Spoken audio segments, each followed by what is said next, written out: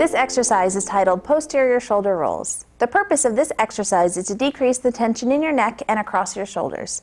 This exercise can be formed either sitting or standing and can be done multiple times throughout the day. It is also great for people who sit in front of a computer or are traveling a lot in the car. The idea is to roll your shoulders uh, back simultaneously while squeezing your shoulder blades together. Your shoulders should follow a slow circular pattern. You should expect to feel this exercise working the muscles between your shoulder blade and also to relax the muscles along both sides of your neck. This exercise should be performed for one minute and I would recommend doing two sets. And you can also take a break in between each set.